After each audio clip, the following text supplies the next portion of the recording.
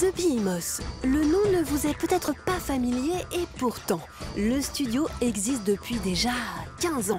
Basé à San Diego en Californie, The Behemoth s'affaire depuis toutes ces années à proposer des titres décomplexés, remplis de couleurs et de bonne humeur. Un contre-pied assumé par ses co-créateurs John Baez et Dan Paladin, lassé d'une industrie parfois trop premier degré.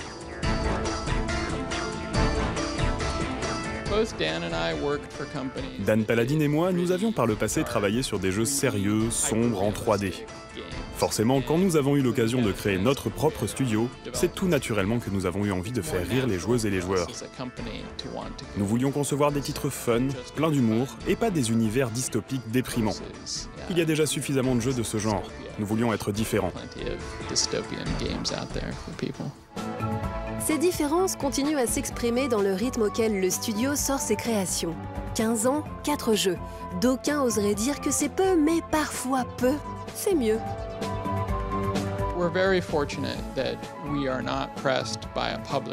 C'est une chance incroyable de pouvoir sortir nos jeux quand ils sont prêts. De ne pas avoir à subir la pression d'un éditeur.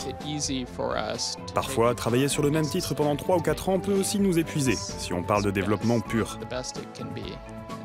Mais ça veut aussi dire que les versions finales de nos jeux sont toujours telles que nous les avions rêvées. Tant que nous ne sommes pas satisfaits, on continue à peaufiner. But it, it really means uh, we're putting out the best game that we can make because we don't release it until we're happy with it. Peaufiner, mais aussi diversifier, multiplier les genres, ne jamais s'adonner à l'exercice de la suite facile, voilà qui semble aussi faire partie de la philosophie Behemoth. Si nous avions décidé de développer une suite à Alien Hominid, Castle Crashers n'aurait jamais vu le jour. Changer de genre à chaque nouvel essai, c'est très important pour nous. Alien Hominid est un run and gun, Castle Crashers un beat'em up en coop, Battle Block Theater c'est un jeu de plateforme et d'énigmes, et Pit People un jeu de stratégie en temps réel. Selon moi, c'est cette diversité qui nous permet de rester alerte, d'imaginer de nouveaux concepts, de travailler la notion de genre. C'est un très bon moteur pour un studio. Um,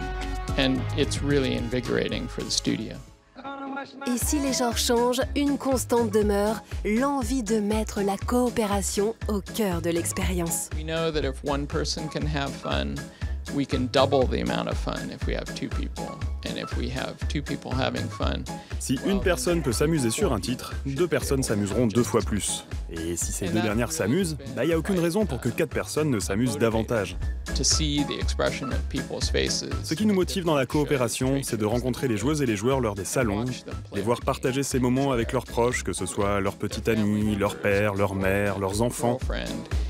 Um, Ça donne vraiment envie de continuer dans ce sens.